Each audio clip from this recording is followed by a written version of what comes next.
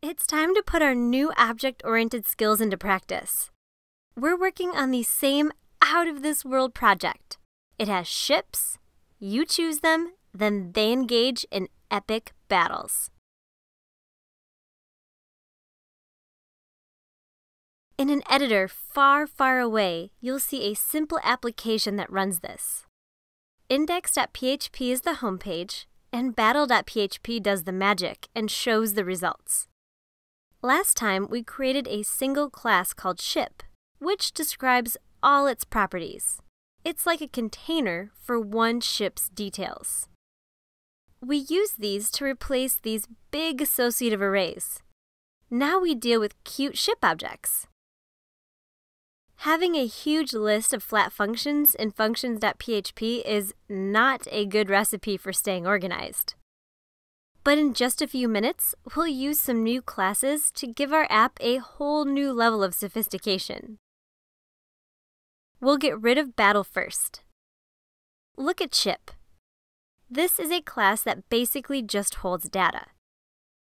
Some people call that state, but I'll say data. And I'm talking about the values on a ship object's properties. So a ship object holds data, but it doesn't really do any work. Sure, it has some methods on it, but these just return that data, after doing some small logic, at best. Reason number one for creating a class is this. We need some organized unit to hold data. But there's a second big reason to create a class because you need to do some work. For example, in functions.php, the battle function does work. We give it two ships. It does some calculations, executes logic to see how different strengths affect each other, and ultimately returns the result of that work. And we're all familiar with creating functions like this. Here's the secret for OO. Whenever you get the urge to create a flat function like battle, don't. Instead, create a class with a method inside of it. Let's do this. Since this function is all about battling, let's create a new class called Battle Manager. Be as creative as you want with naming.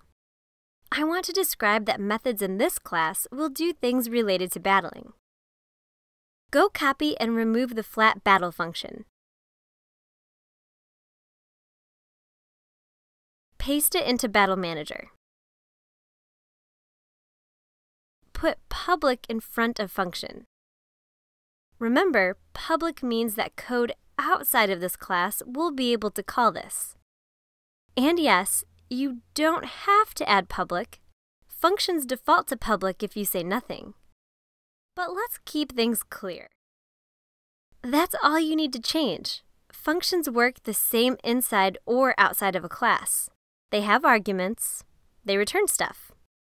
But we do need to change code where we call this function, in battle.php. So how can we call this? Well, when we want to call a method on ship, we need to have a ship object first. The same is true here. We need a battle manager object first. Start with a new variable called battle manager and create a new battle manager object. And now say battle manager then arrow, then battle. Let's give this a shot. Refresh battle.php. Oh no, class battle manager not found. Epic fail. Not really. At the top of functions.php, we have access to the ship class because we're requiring it. Do the same for Battle Manager. There is a way where you can reference classes like Battle Manager without needing to worry about the require statements. It's called autoloading. It's really common, and you'll learn how to master it in a future episode. But until then, if you have a class, require it. Go back and refresh. Cool! Totally working! Now we have two reasons to create a class. First, if you have some data, like properties that describe a ship, creating a class for that is nice. You'll create a ship object whenever you have a set of that data. In get underscore ships, we create four ship objects. These types of classes are sometimes called models because they model something like a ship.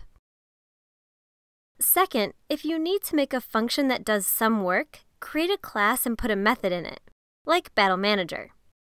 Or you may put multiple methods inside one class, as long as they are all thematically similar. You'll create one of these objects, like Battle Manager, just one time before you need to call a method on it. These are sometimes called service classes because they perform work or service. Organizing your code to use service classes can be tricky, but we'll learn all about that.